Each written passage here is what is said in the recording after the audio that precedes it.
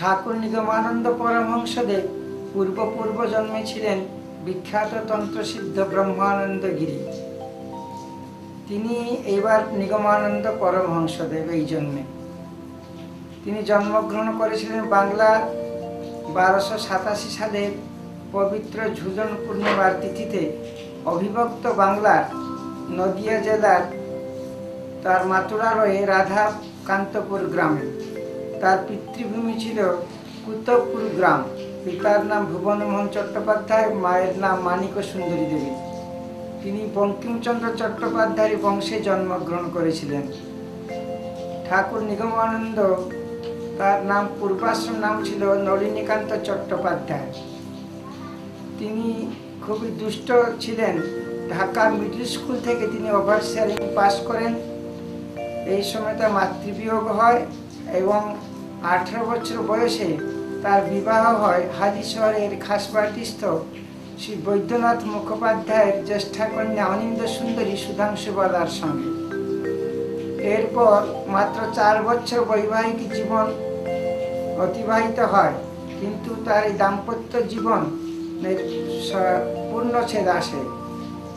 একদিন তার কর্মক্ষেত্রে নারায়ণপুর গ্রামে যখন তিনি কর্মরত অবস্থায় ছিলেন একদিন সন্ধ্যার সময় দেখলেন তার স্ত্রীর ছায়া মূর্তি।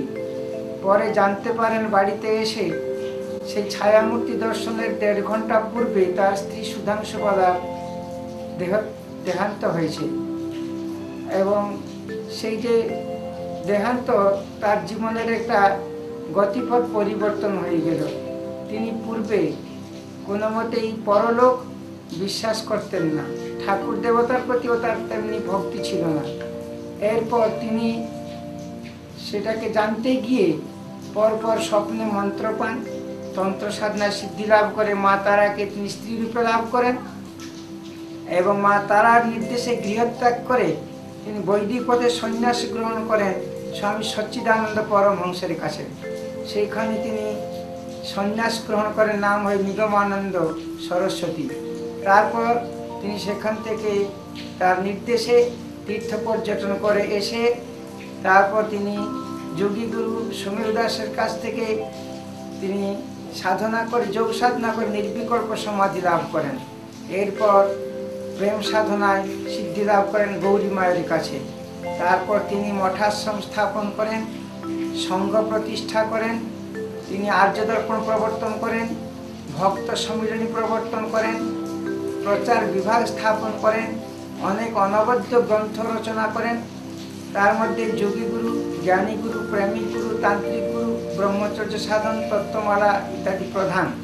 অনেক অমৃতময় বাণীর মধ্যে তিনি আদর্শ গৃহস্থ দাবন করার জন্য নির্দেশ দিয়েছেন এবং তিনি সমাজকে খুব ভালোবাসতেন এবং সাধারণ স্তরের মানুষকে তাদের উন্নতির জন্য তার চিন্তাধারা অপরিসীম ছিল। তিনি ঋষি যুগের প্রতিষ্ঠাও তিনি চেয়েছিলেন। স্বামী নিগমানন্দ পরমংসদেব একজন অনন্য সাধারণ অলৌকিক শক্তিধর মহাপুরুষ, সদ্গুরু। তিনি অবতার নন বলে গেছেন। সুতরাং আজ আমরা তার শ্রীচরণে অনন্ত কোটি প্রণাম নিবেদন করব এই অবসরে। রিচ কমিউনিকেশনের কলকাতার শ্রীমতী অনুরাধা পাল ঠাকুর নিগমানন্দকে নিয়ে যে টেলিফিল্মটি করেছেন, তা প্রথম ভাগ তন্ত্র সাধনা পর্যন্ত করেছেন এইটাই আপনারা দেখতে পাবেন টেলিফিল্মের মাধ্যমে।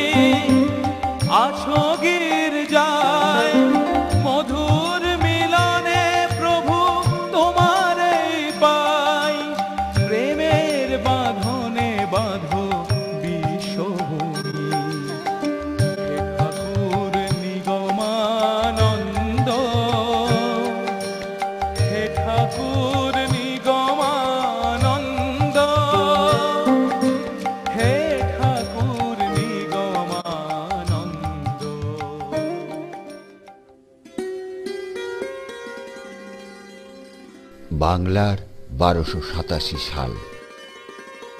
নদিয়া জেলার মেহেরপুর মহাকুমাকে দ্বিধা বিভক্ত করিয়া ভৈরব নদ প্রবাহিত। কিছুকাল পূর্বে এই নদের সাধুজল স্বাস্থ্যকর ছিল। এখন নানা কারণে এই নদ মরিয়া বুঝিয়া যাওয়ায় ইহার তীরবর্তী গ্রামগুলি ম্যালেরিয়ার লীলানিকেতন হইয়াছে। ভৈরব নদীর উত্তর তীরে নীলকুঠি আর দক্ষিণ তীরে ঘন সন্নিবিষ্ট বৃক্ষরাজির অন্তরালে কুতবপুর নামে এই পল্লী অবস্থিত। এই কুতবপুর পল্লীতেই ভুবনমোহন চট্টোপাধ্যায় নামে এক ভক্তিপরায়ণ নিষ্ঠাবান ব্রাহ্মণ কয়েক ঘর জ্ঞাতির সহিত বাস করেন। তার স্ত্রী মানিক সুন্দরী দেবী। একদিন দুপুরবেলা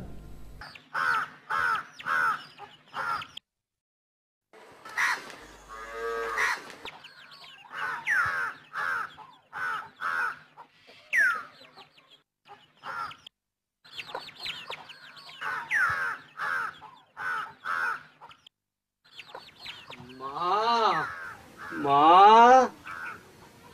মা গো। দুদিন কিছু খাওয়া হয়নি, দুটো খেতে পাবো মা?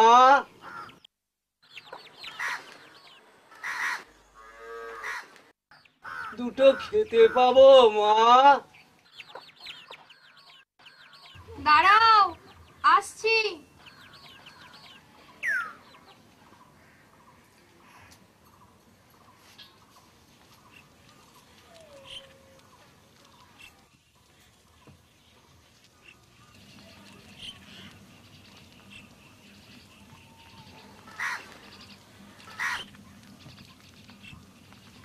এসো এসো। বসো এখানে। লজ্জার কি? বসো এখানে। আমি ভাত এনে দিচ্ছি।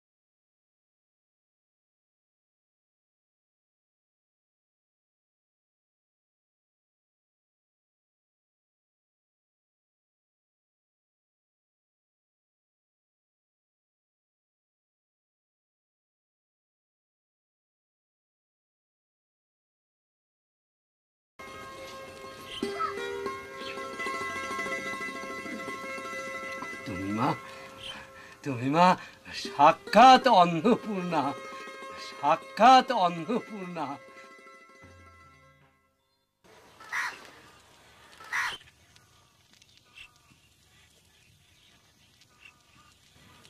লোকে বলে কুতবপুরের ব্রাহ্মণ বাড়িতে যখনই যাওয়া যায় তখনই অন্ন মেলে।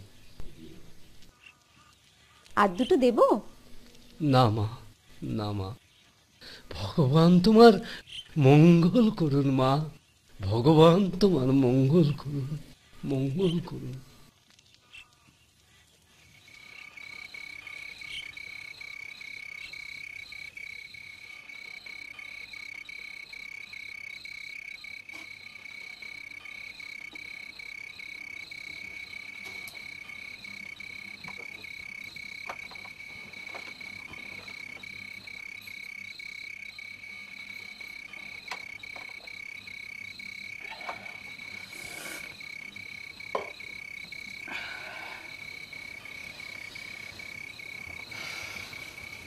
কি এত ভাবছ গো? ভাবছি ভগবান শেষ পর্যন্ত তোমার ডাকে সাড়া দিলেন। সন্তান লাভের জন্য দু বছর ধরে কত ব্রত নিয়ম পালন করেছ। জানো তো মাঝে মাঝে আমি শুনতে পাই দূরে কোথাও আরতি হচ্ছে ঘণ্টা বাজছে ধূপধুনো গন্ধ দীপবন্দনা স্তোত্রপাঠ? তোমার নিশ্চয়ই মনে আছে? বেশ কয়েক মাস পূর্বে সে ভৈরবনাথ পার হবার সময় হঠাৎ এক উজ্জ্বল নক্ষত্র খসে পড়ে, চারিদিকে আলো করে আমার দেহে প্রবেশ করেছিল। তারপরেই তো তোমার গর্ভে সন্তান আসে। তাই এ তো তোমার পরম সৌভাগ্য। গর্ভে সন্তান অবস্থায় এ ভাব তো ঈশ্বরের আশীর্বাদ। তা দুপুরে কি খেলে গো? কেন বলো তো? না নিজের অন্ন তো অন্যকে দিলে। বাবা সব দিকেই তোমার লক্ষ্য।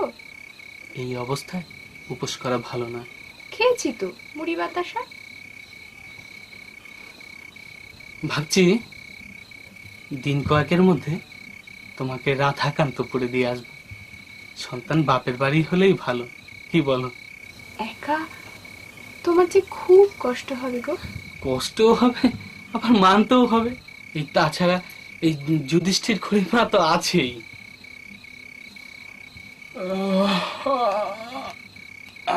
নাও। এবার শুয়ে পড়ো। অনেক রাত হলো।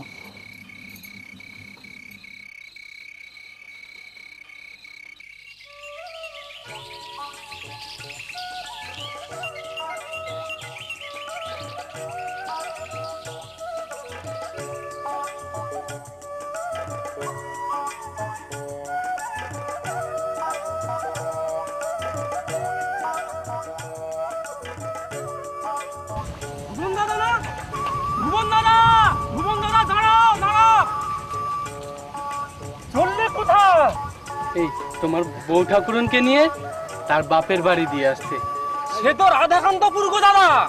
তা ফিরবে কবে? তোমার বউ ঠাকুরন এখন কদিন থাকবে। আমি ফিরে আসব। তবে মাঝে মধ্যে যেতে হবে। তা বলাই এখন আসি তবে। অনেকটা পথ আবার যেতে হবে। সাবধানে যেও গো দাদা। দুর্গা দুর্গা দুর্গা। জয় রাধা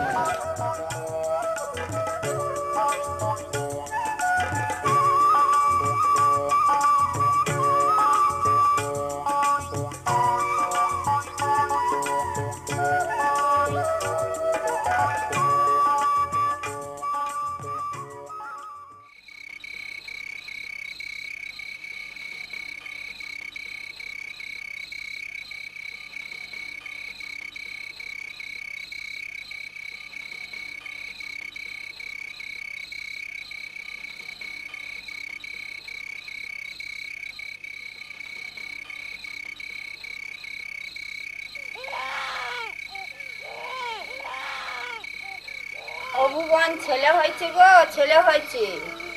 জয় রাধা মাধব জয় রাধা মাধব জয় রাধা মাধব।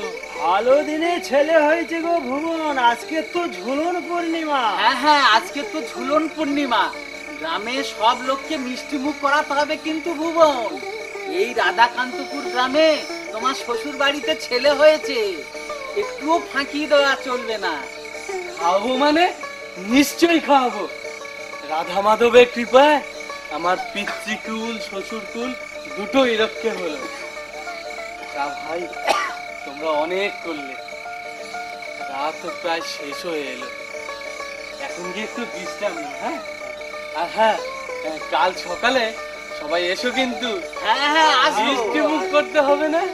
আসব আসব। নিশ্চয়ই আসব।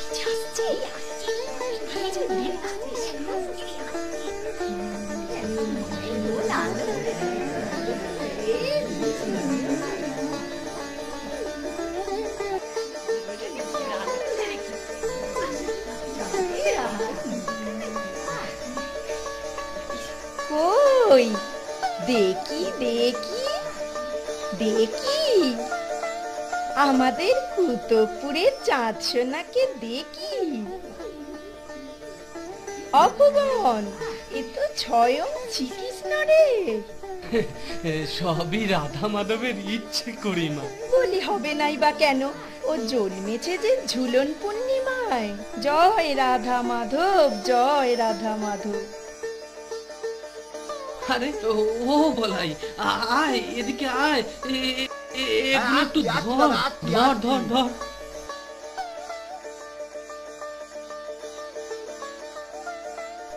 দাও দাও দাও দাও দাও। হ্যাঁ। দাও দাও দাও দাও হাড়িটা দাও। দাও দাও দাও।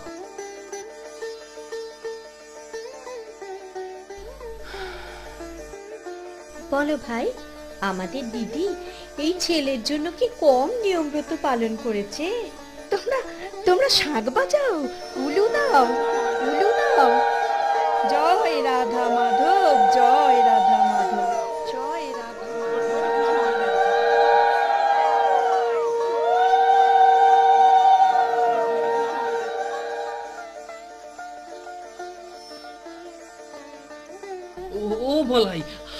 তুই দেখছিস কি? এই মিষ্টিগুলো দেহে সবাইকে ভাগ করে। হ্যাঁ দাদা হ্যাঁ দাদা। ছাতাটা ধরো।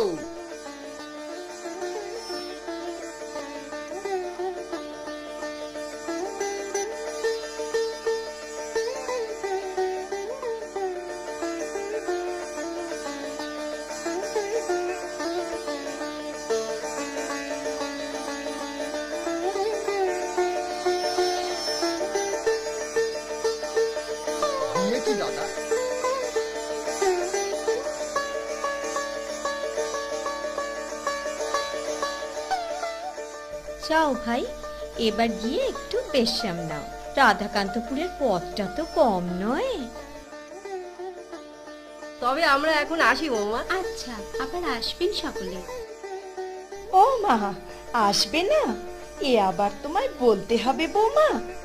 এ ছেলে তো আমাদের কুতুবপুরের সকলের গো ঠিকই বলেছ খুড়িমা।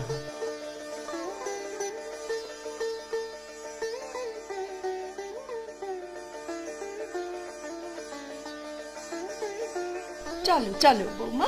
অনেকটা পথ এসেছ। চলো এবার একটু গিয়ে বিশ্রাম নেবে। চলো সেই ভালো। সেই ভালো। চলো চলো।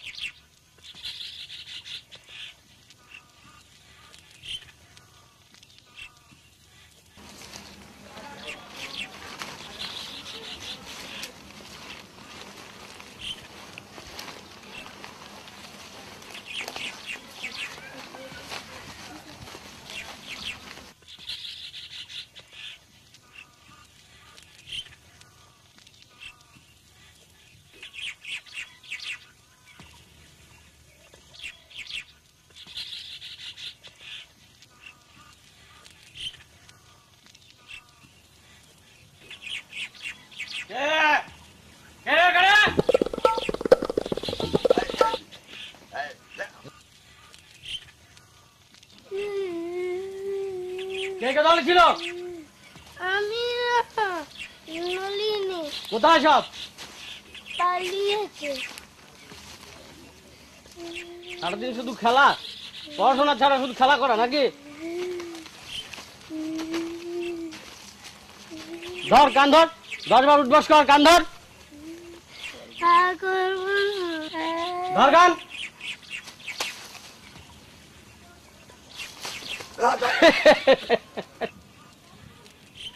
আরে যুধিষ্ঠির ভাই এসো এসো এসো এসো এসো এসো বসো বসো বসো। এই মাদুরটা পেতে বসো।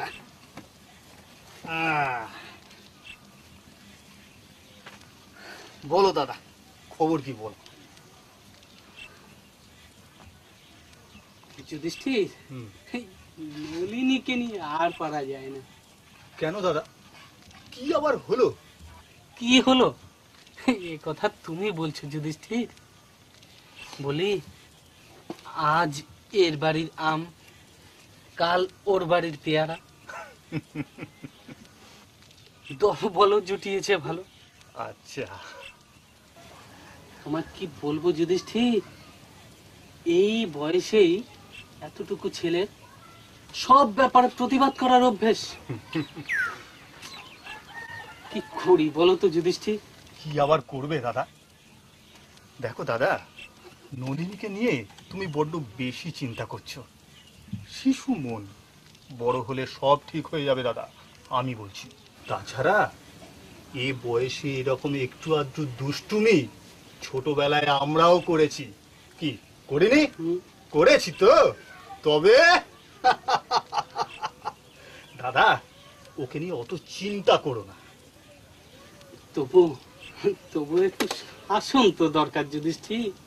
আচ্ছা আচ্ছা তুমি বলো যুধিষ্ঠির এই এই শাসন না করলে এই পাঁচজনে কি বলবে বলো তো? ঠিক। নলিনী বলি ও নলিনী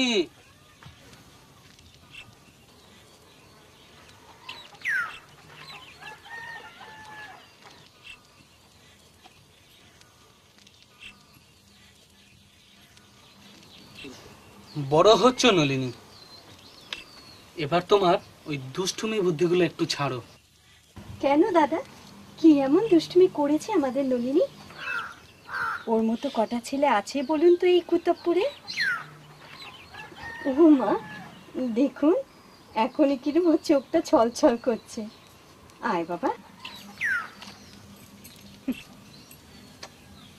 বলি এমন চাঁদপোনা মুখের দিকে তাকালে কোনো সত্তরও কি রাগ করে থাকতে পারে? চল, এখন আমরা যাব গিয়ে গপ্প করব হ্যাঁ?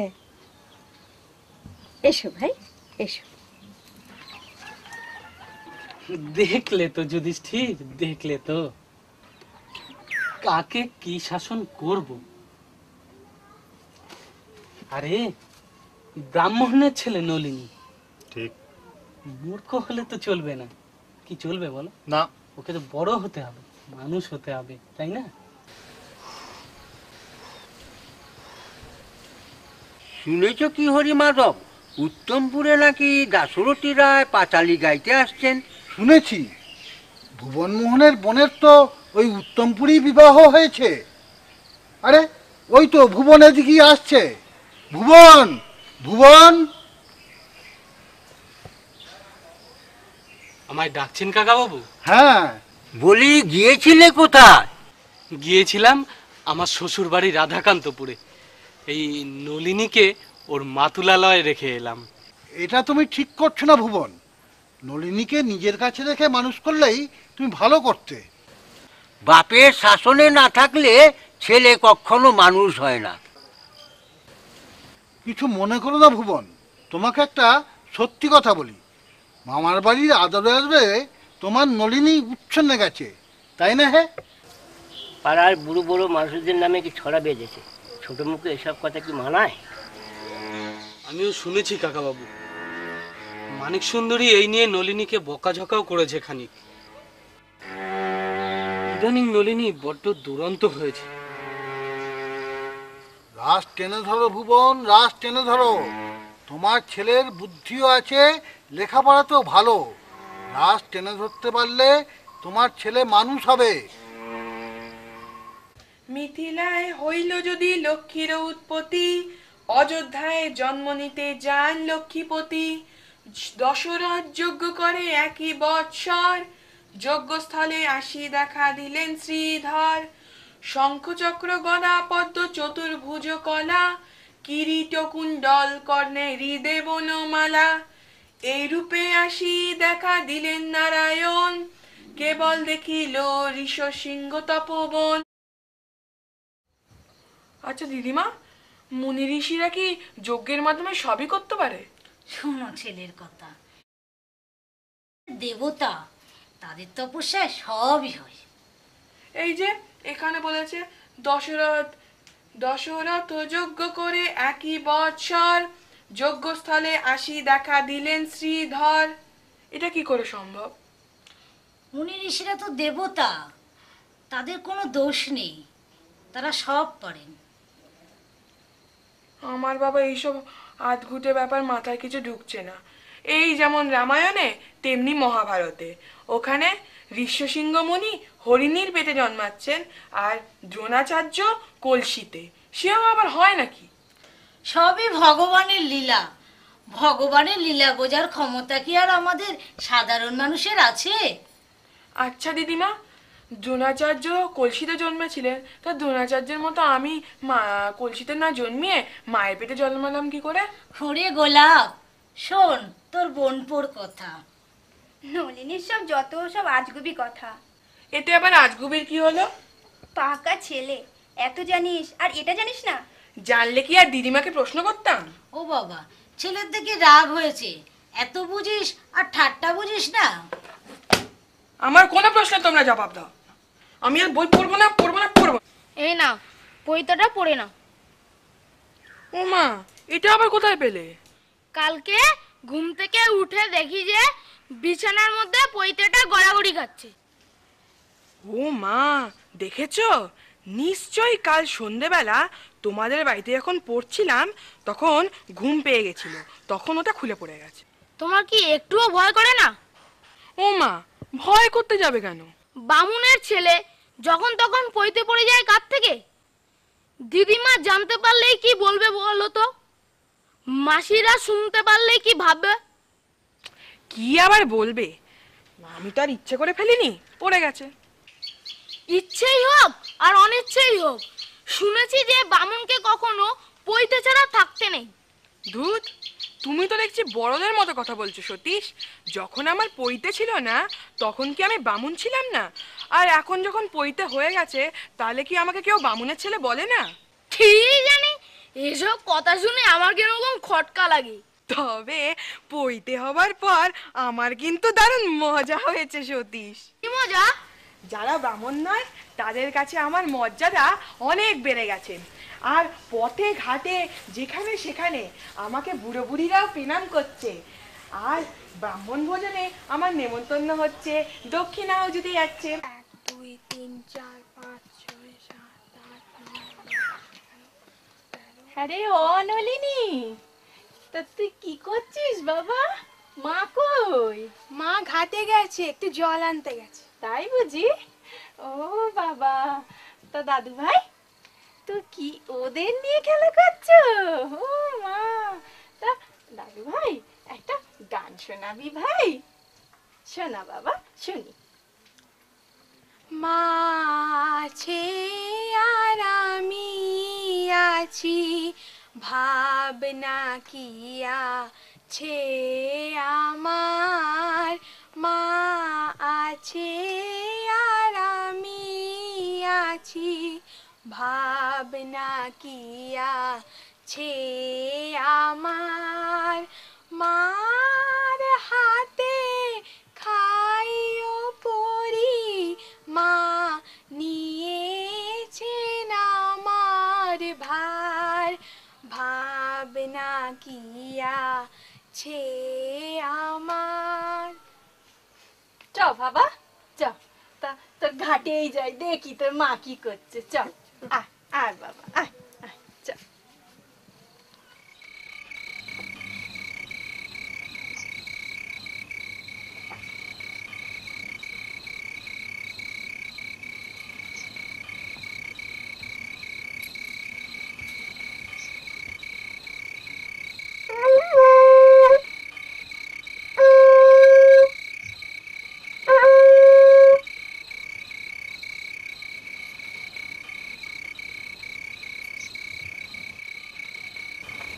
তো বাবা চণ্ডী মণ্ডপে প্রদীপটা একটু দিয়ে আয়।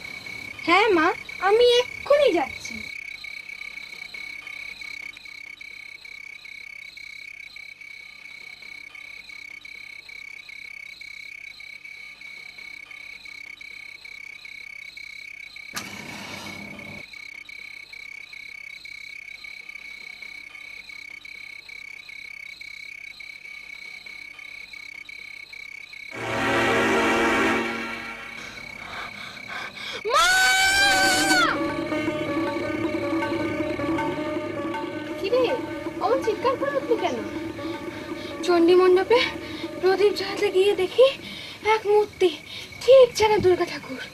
ভয় কি বাবা? আমি তোমার মা। আর দশভূজা তো জগতের মা। তোমাকে তিনি দেখা দিয়েছেন। এ তো ভাগ্যের কথা। জানো মা, আমি মাঝে মধ্যে ঘুমে কত স্বপ্ন দেখি। স্বপ্ন? কিসের স্বপ্ন বাবা? কোথায় যেন এক অন্ধকারময় পুকুর। সেই পুকুরের ঠিক মাঝখানে একটি রক্ত পদ্ম পদ্মটির চারটি দল। প্রতিটি জলে একটি করে অক্ষর লেখা। সেই পদ্মর মাঝখান থেকে একটা সুতো উপরের দিকে উঠে গেছে। আমি সেই সুতো বেয়ে উপরের দিকে উঠে চলছি তো চলছি। তারপর কি? ঘুম তো ভেঙে গেল। স্বপ্ন শেষ। বলো না মা, বলো না, কেন এমন স্বপ্ন দেখি? এই যে ঈশ্বর তোমার প্রতি ঈশ্বরের আশীর্বাদ বাবা তুমি যে অনেক বড় হবে অনেক বড় হবে।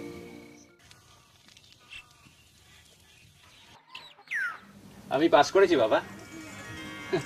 বাহ বাহ, বেশ বেশ বেশ। শুনে শুনে খুব আনন্দ পেলাম। জানতাম জানতাম তুমি ভালোভাবেই পাস করবে। আর যদি তোমাদের মা ও দাদা মশাই বঙ্কিমচন্দ্র বেঁচে থাকতেন, কত আনন্দই না পেতেন। সবই আমার অদৃষ্ট নলিনী, সবই আমার অদৃষ্ট। তা হ্যাঁ বলি তারাপদ রামপদ শুনেছে তোমার পাশের খবর? দাদা বলতে তো ওরা দুজনেই একেবারে অজ্ঞান। হ্যাঁ বাবা বাড়ি আসার সময় পাঠাগারের সামনে দু ভাইয়ের সঙ্গেই দেখা হয়েছে। এই যে বাবা নলিনীকান্ত শুনলাম পরীক্ষায় তুমি খুব ভালোভাবে উত্তীর্ণ হয়েছো। হ্যাঁ কাকাবাবু। থাক থাক বাবা থাক। ভগবান তোমার মঙ্গল করুন। ভগবান তোমার মঙ্গল করুন। বলো দাদা। হ্যাঁ, যুধিষ্ঠির বসো বসো বসো। এ, এই চাটাইতে পেতে বসো।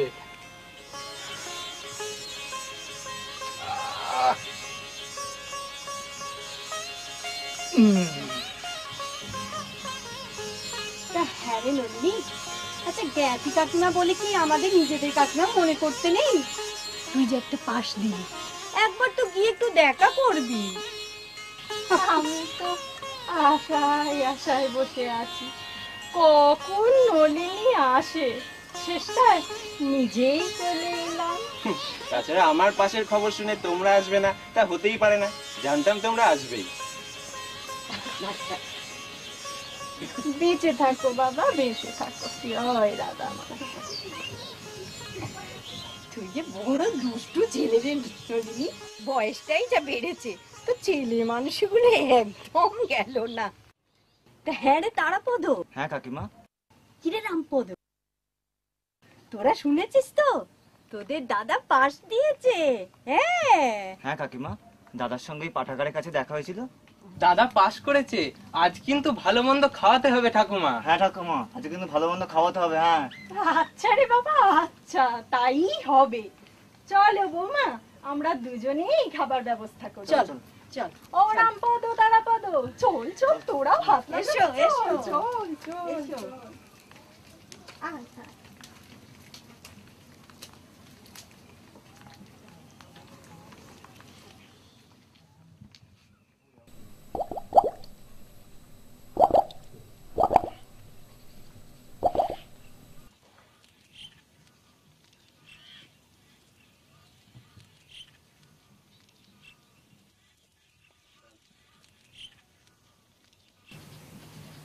যুধিষ্ঠির শরীরটা আমার ভালো যাচ্ছে না।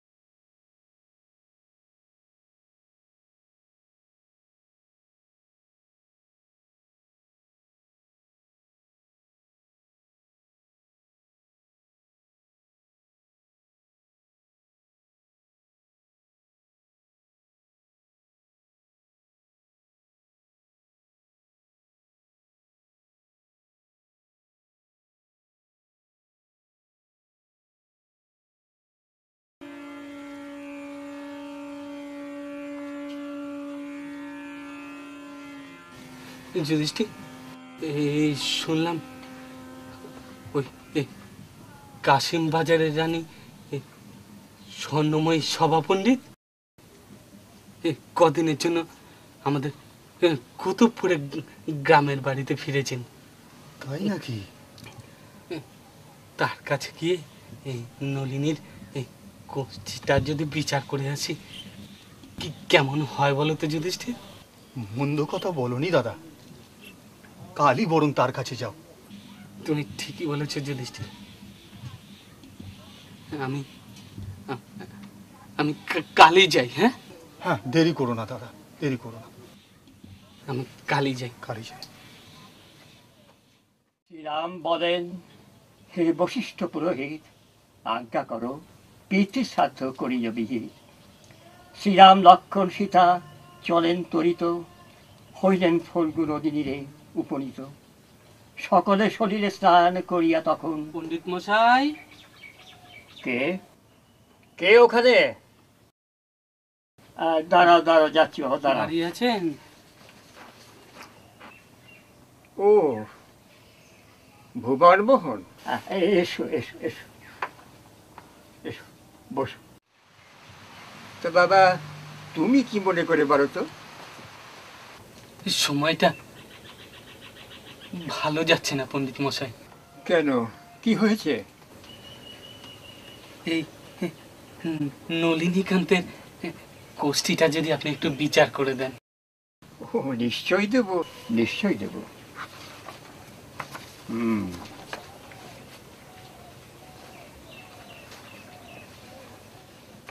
বুধ শুক্র একাদশে বৃহস্পতি। ভুবন মোহন তোমার ছেলের কোষ্ঠী অসাধারণ। বুঝেছ? একদম অসাধারণ হ্যাঁ। তোমার এ ছেলে যদি সে গৃহে থাকে, তাহলে সে নিশ্চয়ই রাজা হবে। আর ধরো যদি নেহাতি সন্ন্যাসী হয়, তাহলে সমস্ত সন্ন্যাসী কুলে নেতৃত্ব সে একাই দেবে। ওর যে ভগবানের অংশে জন্ম গো, দেবতার অংশে জন্ম তুই কিচ্ছু ভেবো না, তোমার কোনো চিন্তা নেই। সন্ন্যাসী হবে। আমার আমার নন্দন নলিনীকান্ত সন্ন্যাসী হবে। হতে পারে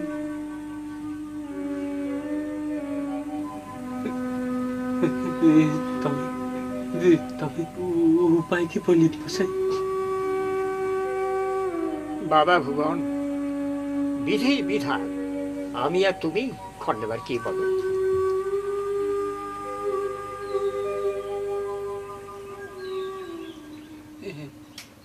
গৃহে বাধার জন্য তবে কি ওর বিবাহ দেব?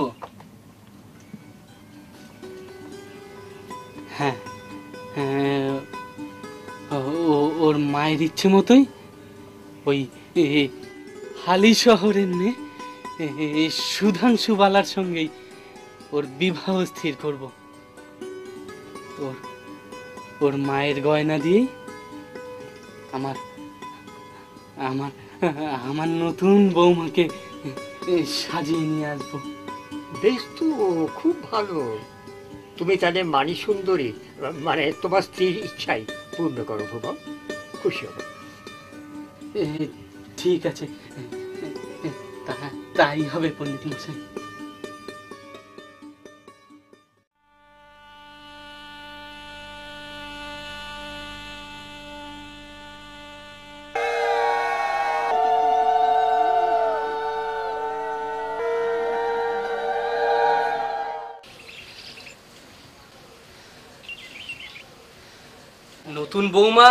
আর নলিনী এখানেই রইল। আমি তারাপদকে নিয়ে আজই কুতুব কুতুবপুরে ফিরবো মা। আর রামপদ ওর বৌদির কাছেই থাকবে। কিছু যদি না মনে করেন একটা কথা জিজ্ঞেস করব মা? ও মা সে কি কথা? বাবা তুমি নিঃসংকোচে জিজ্ঞেস করো। এই নলিনীর বিয়েতে সর্বমোট কত খরচ হলো? মানে সর্বমোট বারোশত টাকা খরচ হয়েছে। শোনো জামাই বাবা তোমার ছেলে বউকে দোতলা দুটো ঘর সম্পূর্ণ ছেড়ে দিয়েছি। আর নতুন বউকে বলেছি নিজের হাতে সব কিছু গুছিয়ে নিতে। আর আপনি জানেনই তো মা এই নলিনীকে কোনো কিছুতেই সন্তুষ্ট করা যায় না। ওর মা বেঁচে থাকতে কি কম জ্বালিয়েছে? পাড়া প্রতিবেশীর গঞ্জনা থেকে আমি আর ওর মা সর্বনিয়ত ওর পেছনে ছুটে থাকতাম। আজ থাক বাবা ওসব কথা মনে করে আর দুঃখ পেও না। আমার মানিক ওপর থেকে যেন আশীর্বাদ করে। রানী নতুন বিয়ে হয়েছে বলে খুব কাজ দেখাচ্ছ তাই না? না কাজ আর কি? এই কাপড়টা একটু গোছাচ্ছি। বাবা এ ঘরে যা বই। বইয়ের প্রতি তোমার খুব আগ্রহ। তা পড়াশোনা করলে না কেন? পড়ার খুব ইচ্ছে ছিল। বাবা মারা যাওয়াতে ছাত্রবৃত্তি পরীক্ষা দেওয়া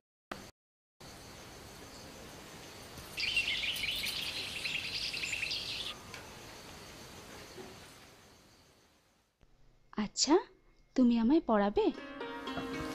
সে তো খুব ভালো কথা। নিশ্চয়ই পড়াবো। কি জানো রানী এই কদিনই তোমার সঙ্গে কথা বলে দেখেছি। গল্প বিজ্ঞান ইতিহাস ধাঁধা এসব তুমি বেশ ভালোই জানো। বাবা যখন ছিলেন তখন বিভিন্ন ধরনের সাহিত্য চর্চা আমাদের বাড়িতে হতো। তুমি তুমি সত্যি এখানে বেশ সুন্দর মানিয়ে নিয়েছো। জানো রানী আমি অনেকের সাথে কথা বলেছি কিন্তু তাদেরকে তোমার মতো এভাবে আপন মনে হয়নি। রানী কালই আমি ঢাকা চলে যাব। কি হলো? চুপ করে আছে যে? মন খারাপ হলো? মন খারাপ করছ কেন? এখানে দিদিমা মাসিমা রামপদ সবাই থাকবে। তোমার কোনো অসুবিধা হবে না। আমি আর কি চাইব? আমার ব্রত শিব পুজো সবই সার্থক হয়েছে তোমায় পেয়ে। আমি জীবন্ত শিব পেয়েছি। আমি আর কিছু চাই না। রানী রানী সত্যি আমি ভীষণ গর্বিত তোমায় পেয়ে। তোমার এত ভক্তি এত শ্রদ্ধা। চুপ করো এত প্রশংসা আমার ভালো লাগে না। ভয় হয়।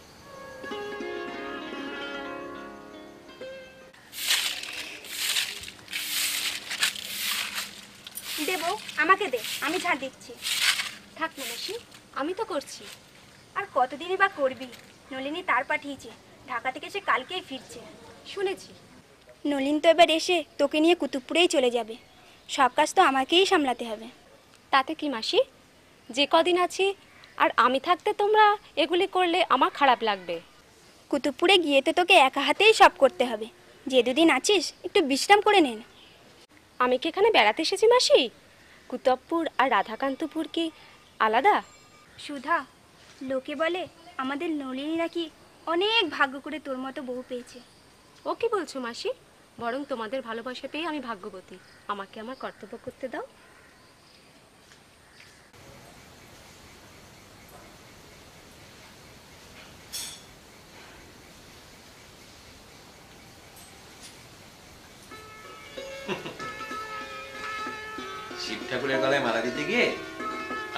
মালা দিলে যে সুধা?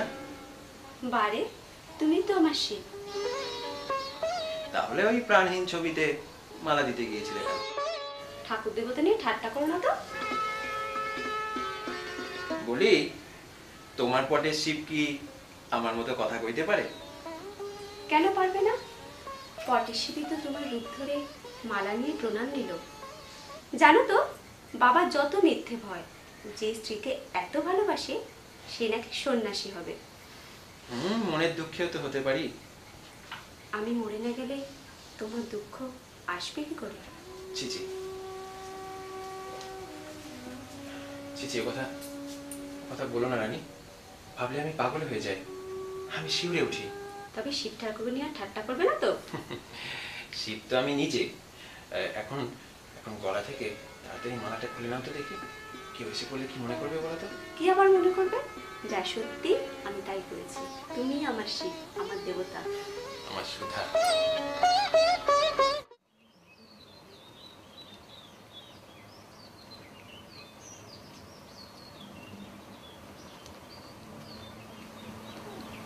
দুর্গা এসো এসো ভাই বসো। তা হঠাৎ কি মনে করে? এদিক দিয়ে যাচ্ছিলাম ভাবলাম বৌদি কি করছে? দেখে আসি। তা ভালোই করেছ। নলিনীদা কোথায় গো বৌদি? খেয়ে দিয়ে শুয়েছে। তা বেশ হয়েছে তো তোমার সেলাইটা? পাড়ায় তোমার সেলাই সবাই প্রশংসা করে বৌদি। বলে কি জানো? বলে ও মা জানিস? ননিলির বউ কি সুন্দর সেলাই গান জানে। আবার কত রকমের নকশা তোলে। হালি শহরের মেয়ে তো, তাই রূপে, গুণে একেবারে লক্ষ্মী বৌদিমা বৌদি, ও বৌদি, আমাকে কয়েকটা নকশা তুলে দেবে। ও মা, সে কি? নিশ্চয়ই দেবো ভাই।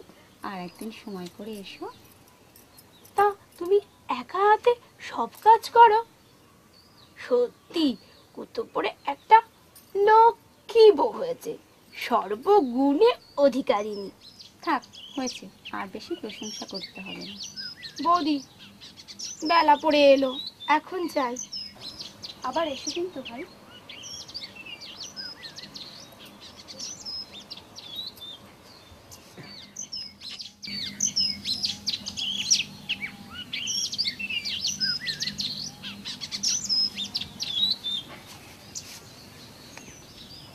শুয়েছিলে?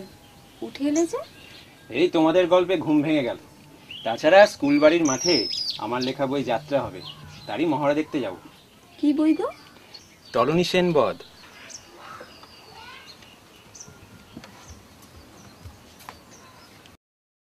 দাদা মতিবাগদির কলেরা হয়েছে? সে কি ঠাকুরপো? এই তো শুনলাম বাগদিপাড়ায় কলেরা থেমে গেছে। আমার বিশ্বাস আমার বিশ্বাস মতিবাগদি নিশ্চয়ই অত্যাচার করেছে। সুধা জামাটা একটু এনে দাও তো।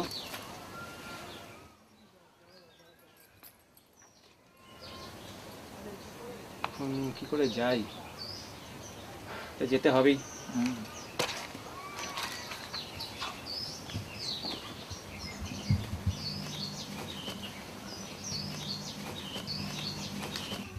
দাদা যা প্রতিরোধ চালিয়েছে বৌদি তাতে বাগদি পড়া আর কলেরা হওয়ার কথা নয়। তাহলে বলো ঠাকুরপো তোমার দাদার জন্যই বাগদিপাড়াটা বেঁচে গেল? আর বলতে বৌদি আর বলতে। পেটে কিছু না দিয়ে এদিকে তো ঘুরছে ঠাকুরপো হাত মুখ ধুয়ে এসো খেতে দেবো। এই না হলে বৌদি সাক্ষাৎ জননী আমার।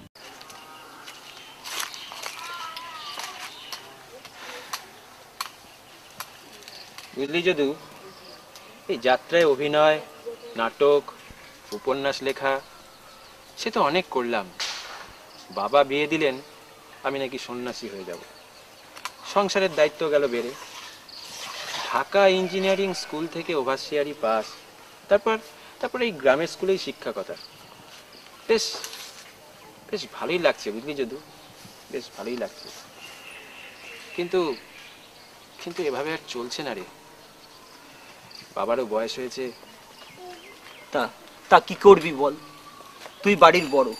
দায়িত্ব তো এখন তোকেই নিতে হবে।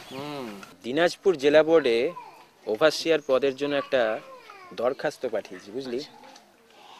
দেখি দেখি কি হয়। চিন্তা করিস না নলিনী দেখবি সব ঠিক হয়ে যাবে। বলছিস? আসলে কি জানিস সুধার জন্যই যত ভয় হয় রে চাকুরি পেয়ে দিনাজপুর চলে গেলে বড্ড একা হয়ে যাবে। কেন? ওকে নিয়ে যাবি না? তুই যে কি বলিস? আমি যদি ওকে নিয়ে যাই তাহলে বাবা ভাইদের কে দেখবে হ্যাঁ? কে দেখবে? নে চল রে যদু। অনেক বেলা হয়ে গেল এবার বাড়ি ফেরা যাক। হ্যাঁ চল বাড়ির দিকে যাওয়া যাক। তোর বউ তো আবার তোর জন্য অপেক্ষা করছে। খুব মস্করা হয়েছে না? চল চল চল। চল চল চল।